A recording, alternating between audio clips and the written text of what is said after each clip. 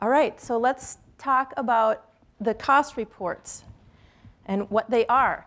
Can I have a show of hands of how many of you have already used or downloaded the cost report data? Okay. All right, so some of you. So some may not even have looked at it. I don't know what the cost reports are. I've never seen them. I've heard about them. I know they contain cost information, and I think I might like to use it for my research. So in this segment, we'll take a look at what are they, what types of facilities submit cost reports, and what types of research can you do with cost report data. So the cost reports themselves are a series of forms that generally collect descriptive, financial, or statistical data, and it's primarily used for the purpose of a settlement summary. A settlement, here I'm saying it's Medicare over or underpaid the provider. It's similar to your income tax. So it's between the facility provider and CMS. So CMS will estimate the payment amounts for any service. Um, and then at the end of their, the provider's fiscal year, there will be a settlement, just like your income tax. Did CMS pay too much based on the actual or too little based on the actual. And so that's what the cost reports are designed to do is to figure out what uh, to come to a settlement based on the Medicare beneficiaries that were served by that facility. So it collects information and it's also used for prospective payment rates. Things that are collected in the, in the cost reports include wage index, DSH adjustments, indirect medical education or direct graduate medical education. And then also it's used for calculating outliers, for outlier payments. So you should have seen a similar slide yesterday in Yvonne's presentation. This is to illustrate where does this cost report, where does it happen? And, and does it happen at the same time as a, someone is in the hospital or does it happen some time other than that? So the cost report process happens outside of the care delivery between provider, Medicare beneficiary, and so seeking services, paying for your services. The cost reporting process, that occurs separately, and it occurs between the Medicare administrative contractor that CMS designates to do the cost reports and the provider.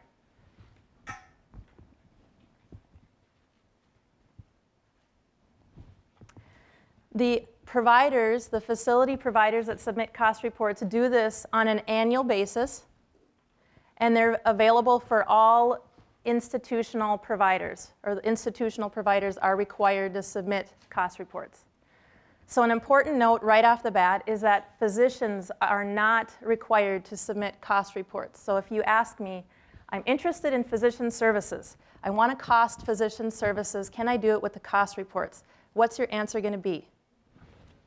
No, they are not required. Um, neither are other non institutional types of facilities or services.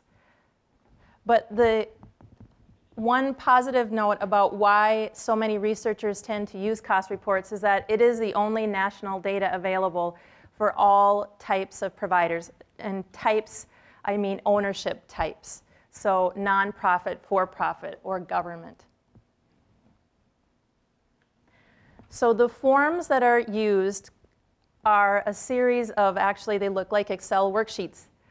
And in general, these worksheets will be collecting facility characteristics, statistical information, number of beds and discharges, financial, what's the net income, uh, and other types of financial information, cost, of course, charge information, wage index is another. So here is an example taken from the hospital cost report forms themselves. And again, if this is too small to read, you're welcome to go to your laptop to look at a larger version of this worksheet. This is taken from what's called Worksheet S3 Part 1. So like any good government document, it has a form, letters and numbers and things like that. So the form, the, the hospital forms it's the number 2552-10.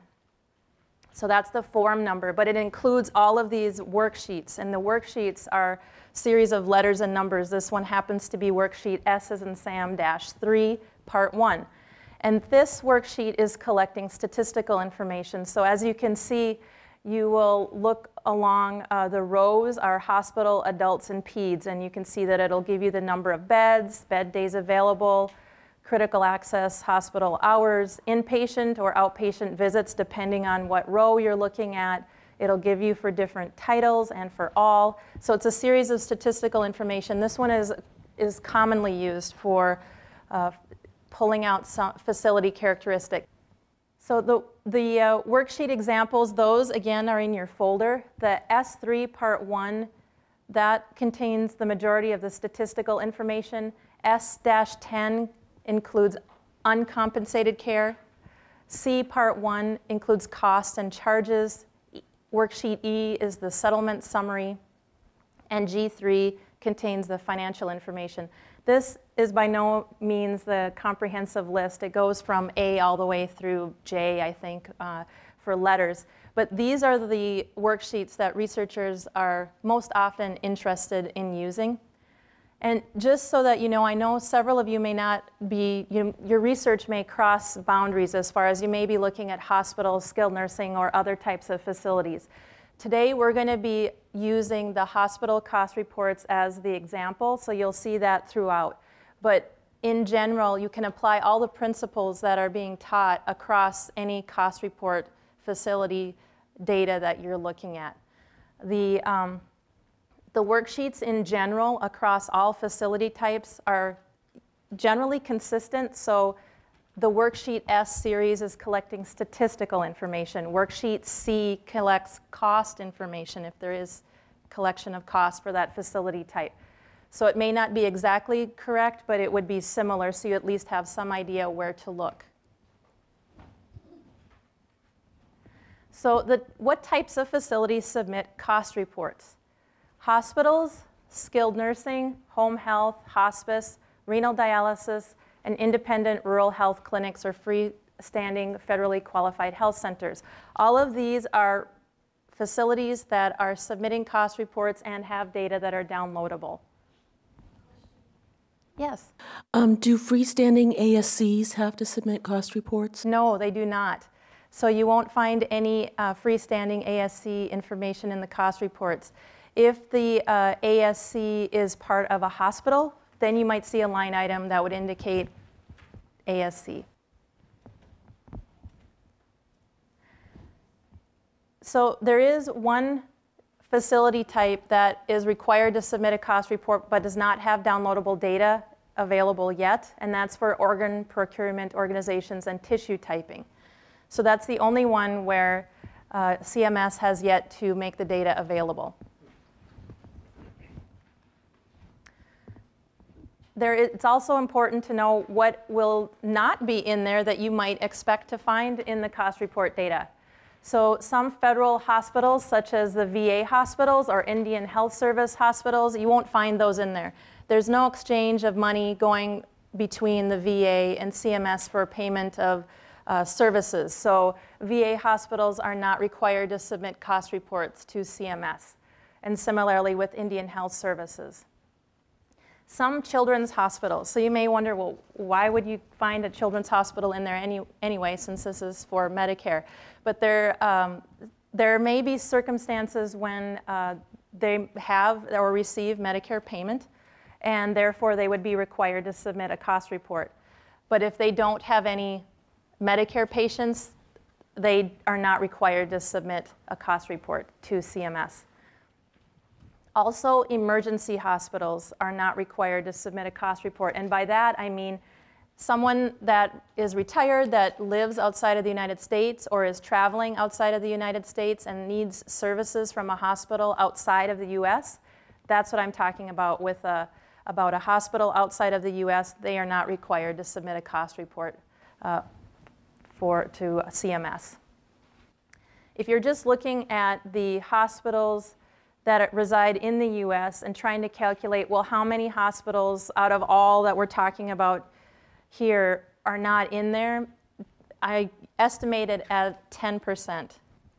Now we'll take a look at just introduction of what types of research can you do with these data. So generally, researchers are using these data for facility characteristics, financial health, calculating the financial health of a facility, and calculating cost and pulling out cost to charge ratios, specifically for hospitals.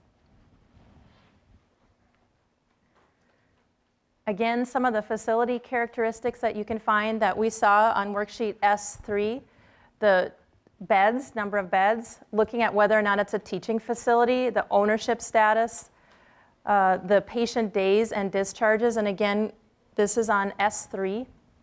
Other types of research that is commonly used with the cost reports is calculating costs. So this, the, the whole purpose of the workshop is to look at different methods of costing. And so that will be a focus of today, looking at costs.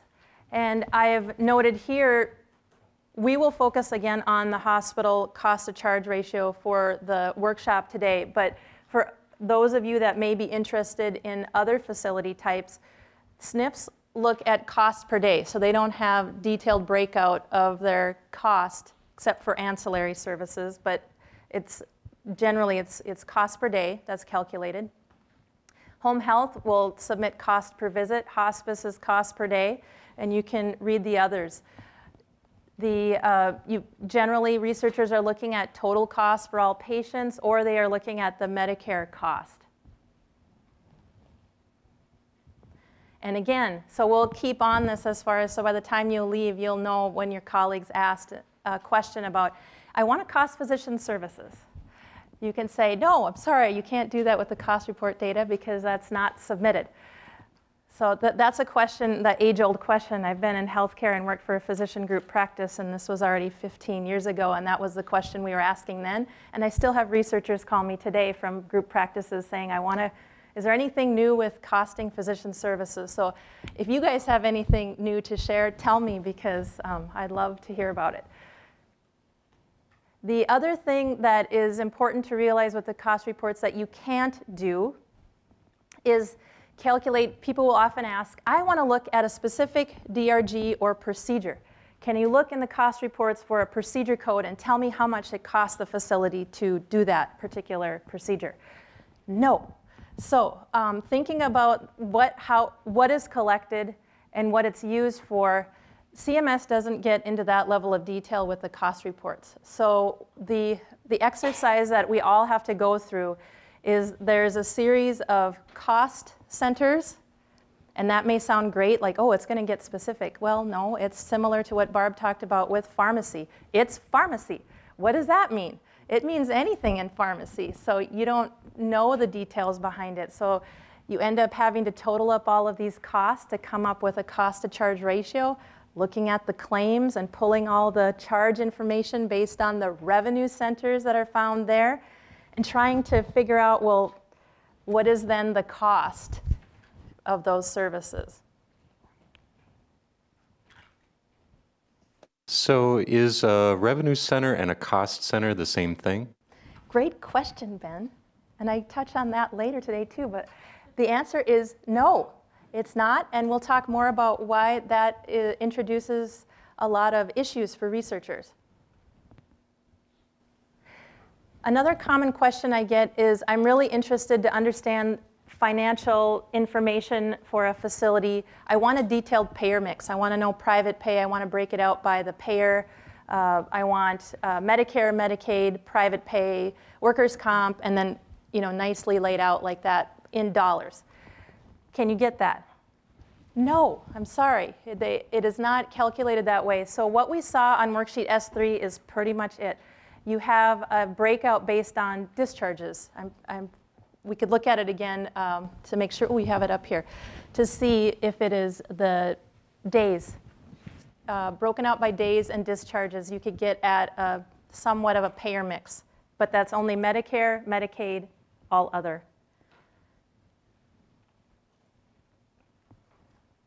Again, you may ask yourself, okay, so we have all these things we can't do, so why do we, why do we bother? It, again, it's, it is available on an annual basis, so you have something to look at every year. It's available for all institutional providers, all types of providers. And it does include a wide array of characteristics, financial information, and cost and charges.